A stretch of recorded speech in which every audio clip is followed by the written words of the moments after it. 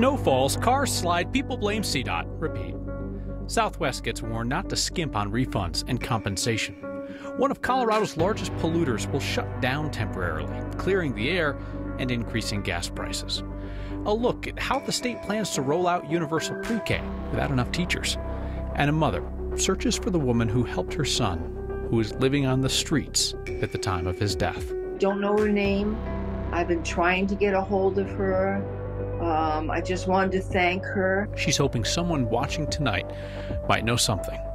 All that is next. It's a wet snow. You know what I mean. Did you shovel it? It was clearly rain disguised as snow, and so much of it. This is now the eighth wettest December day on record in Denver. It doesn't drive like early winter snow either. It kind of grabs you more. People have been getting grabbed all day, even as it melts on the road and plops out of the trees.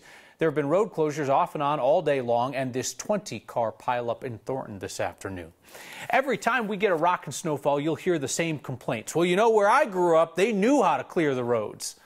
CDOT's been hearing that for decades. Steve Staeger's along now with that. You know, where I'm from, they knew how to clear the roads. Uh, I really am from Detroit. Tom Norton ran the transportation agency CDOT from 1999 to 2007 under the Republican governor.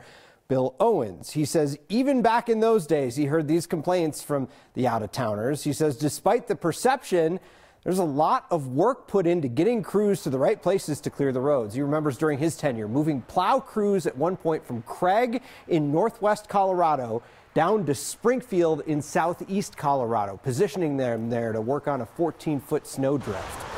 Norton believes part of the problem is when people don't see plows, they don't think the work's getting done, but he says that out of towner perception needs some context. Snowstorms are different in Colorado than they are, say, in Chicago or Buffalo, where they're far more frequent, and he says this is really a resource issue.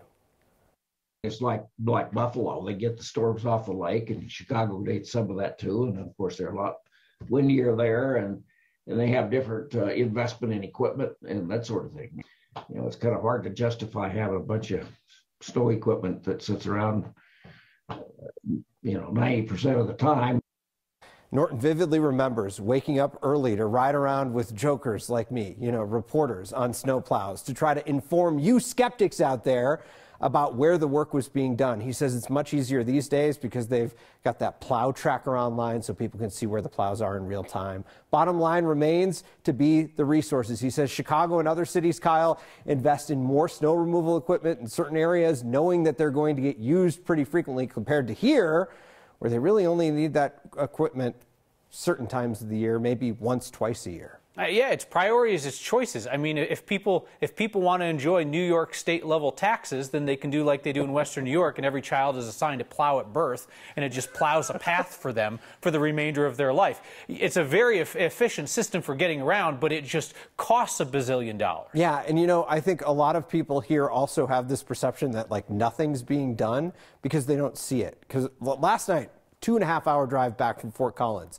I saw a few plows out there, but when I got back, we started talking about it with people. They're like, CDOT wasn't even out. Did you see any plows? Yes, they were out there. It's just, you got to look for them. They're getting the work done and they're working as hard as they possibly Yeah, there just are not as many as you see in other places. Yep. There you go. All right, Steve, thank you. Southwest is slowly transitioning from being a company that stores empty parked planes on the ground into a company that fills planes with people and then flies them around the country. More than half of Southwest flights were still canceled today, but the airline says it could be back to normal as early as tomorrow. The feds are looking into Southwest's historic meltdown in operations and also watching how it compensates stranded passengers. They should absolutely be uh, providing refunds for those flights that were canceled if passengers aren't able to fly or choose not to fly, but also things like hotels, like ground transportation, like meals, because this is the airline's responsibility. That's where things get really interesting. So traditionally, airlines have had the final say over whether they are at fault for cancellations and therefore whether or not they offer a refund. But there you heard Transportation Secretary Pete Buttigieg, who says Southwest promised in writing this year that it would expand its consumer protections. Buttigieg says the breakdown in service was not solely due to the winter storm, as indicated by the fact that other airlines were fine, which means Southwest is supposed to pony up, Buttigieg says, for transportation, hotels, and meals. At the local level, DIA says it is reviewing what happened with Southwest, Frontier, and United during last week's storm. Frontier and United were certainly impacted by the weather, but they did not have a, a national level implosion like Southwest. If you look closely at the videos of the chaos at Southwest Baggage Claims, you see a pet carrier or two. Viewer named Carol did and wanted to know if there are animals stuck unattended among those thousands of unclaimed bags. Carol, good question. Southwest has foobarred plenty lately, but it does not appear that they are abandoning pets. Southwest only allows pets to travel in the cabin. They don't put pets in the cargo hold. So passengers whose flights were canceled should never have been separated from their pets. Passengers are allowed to check empty pet carriers with their luggage, though. That's probably what you've been seeing in those photos from Baggage Claim. Colorado's only major oil refinery is shutting down for a couple of months. So happy breathing, everyone. Uh, but we are likely to be paying more in gas prices for that time. Suncor's Commerce City refinery says the shutdown is due to damage from the extreme weather. Of course, we should note they've also had two fires this week. The first fire at Suncor happened Christmas Eve, sent two employees to the hospital. Another fire broke out Tuesday. No one was injured. Suncor says they're inspecting and repairing the damage and will return to normal operations in phases. This should happen sometime before the end of March. The refinery produces about 98,000 barrels a day, so it's crucial to our gasoline supply. It's also one of Colorado's largest polluters. AAA says we can expect higher gas prices as a result of this closure and perhaps even higher airfare out of DIA because Suncor provides the jet fuel to airlines there. Tomorrow marks one year since one of the most destructive fires in Colorado history. The Marshall Fire showed us how critical and how flawed our emergency communications are these days. People expected somebody to tell them when it was time to evacuate, and for too many, the message never arrived. Boulder County relied on social media and an opt in alert system called Everbridge. We found that only about one in five people confirmed they got the message. Boulder County also had access to the Wireless Emergency Alert System, WEA, which can reach all cell phones in a certain geographic area. But Boulder County hadn't finished setting it up when the fire started. 15 other counties in Colorado began the year without access to the WEA system. And as of now, 14 of those counties still don't have it.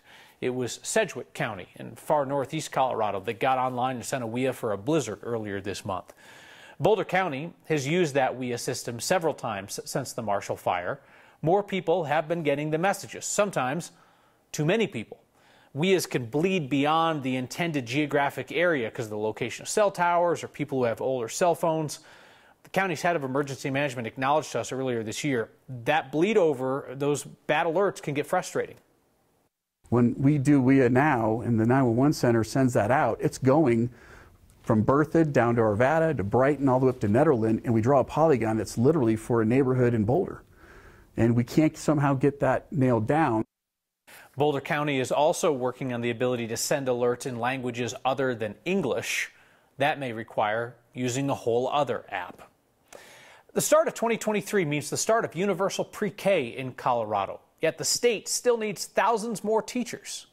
Here's Anusha Roy with that.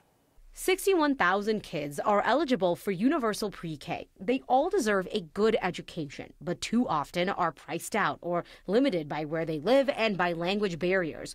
Based on legislation, the idea is that all four year olds will get a minimum of at least 10 hours of school at no cost. The program is set to launch fall of 2023. It also means the state would like to recruit 3,000 new educators by fall of 2024. 3,000 new educators during an ongoing teacher shortage.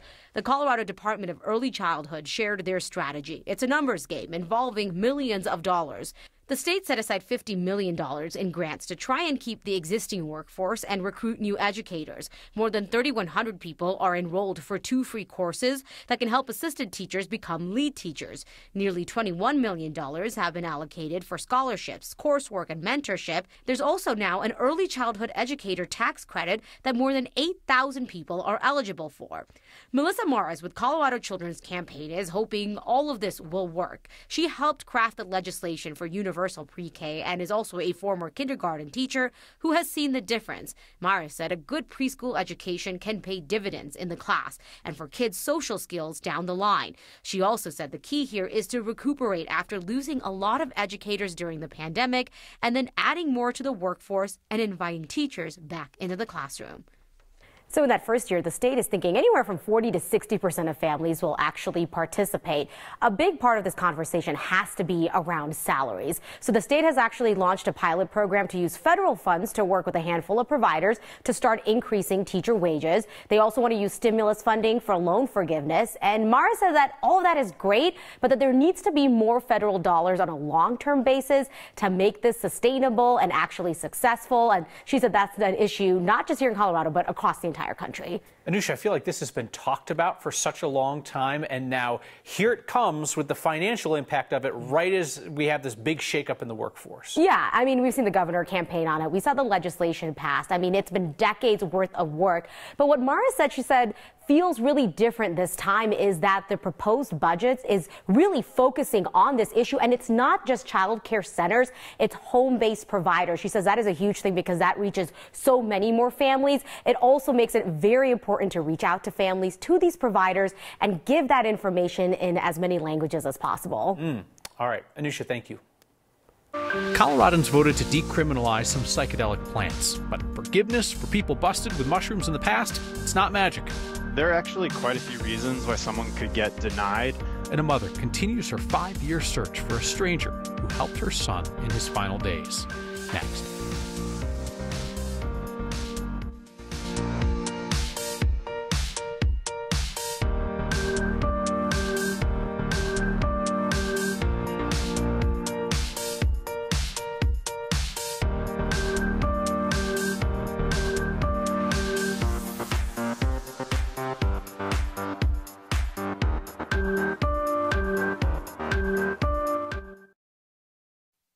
This week, Democratic Governor Jared Polis signed off on the statewide ballot measures approved by voters last month, including Prop 122.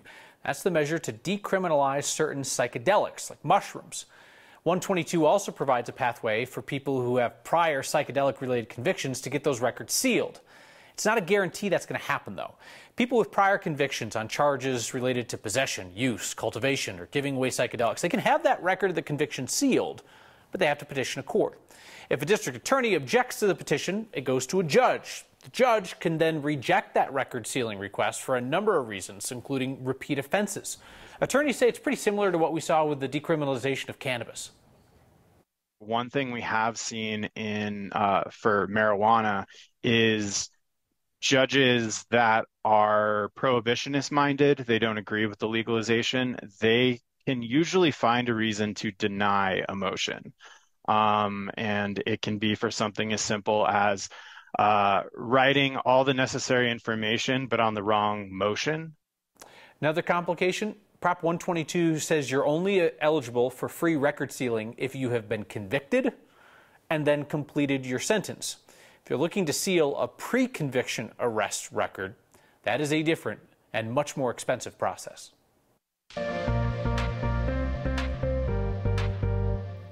Wet, heavy snow last night and into this morning is long gone. We're seeing those clearer skies and more mild conditions on the way for tomorrow. Right now, 23 degrees. It feels like 13 outside with winds coming in from the south southwest at 9 miles per hour. Not a whole lot on our HD Doppler radar. Maybe some very light snow showers across portions of the high country, but overall, we're all going to be pretty dry tonight. But we do still have a lot of snow out there, so we have several avalanche warnings still in effect through midnight. High levels of danger here, four out of five, so you certainly want to stay out of those backcountry areas.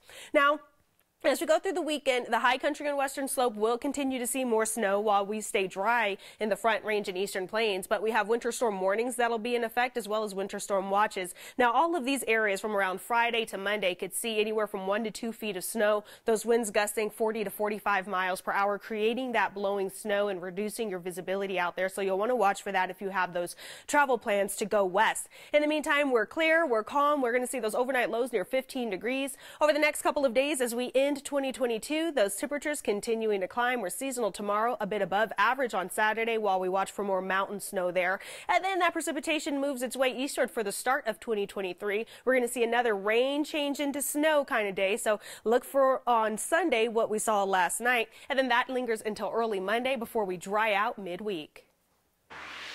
A stranger's kindness still resonates five years later. What would it mean to you to be able to talk to this person? It would mean an awful lot to me. It would mean an awful lot to me. A mom tells us about her search to find the woman who helped her son in his time of need. Next.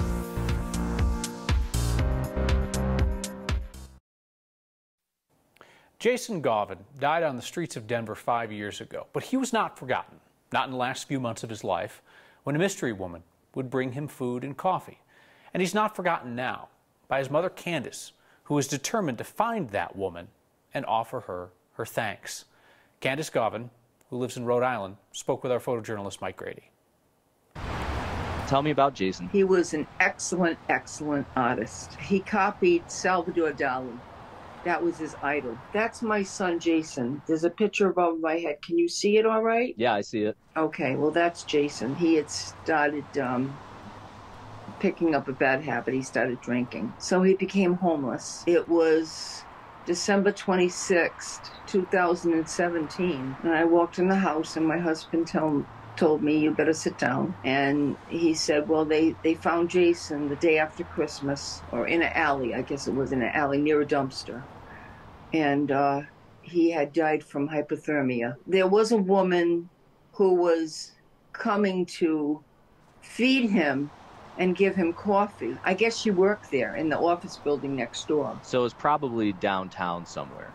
Yes, yeah, it was. Yeah, it was. It was downtown. Yes. I see in my note here that it was between Lincoln and Sherman Street. Yes, yes. So that's what I've been trying. I don't know her name. I've been trying to get a hold of her.